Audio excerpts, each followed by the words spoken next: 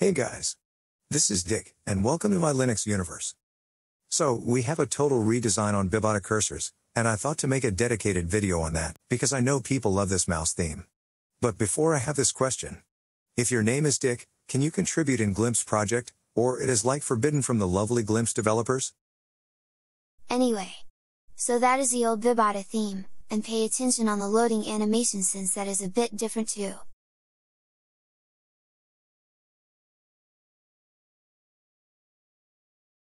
And that's the new theme, that is a bit more rounded, a bit more cartoonish, a bit more material design. The loading cursor now gets black, and one more thing I love on this theme apart styles, is that it respects official GNOME sizes. That was by the way my bug report, and I'm saying because the maintainer is also pretty cool.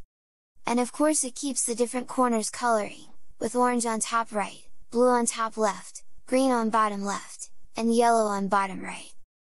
By the way Bibata is now available for Windows too, and you can download the cursors from GitHub releases page. And finally, if you don't like the white theme, there is also a black one. And there are some more additional colors too. I fell in love with someone sweet and pure, but became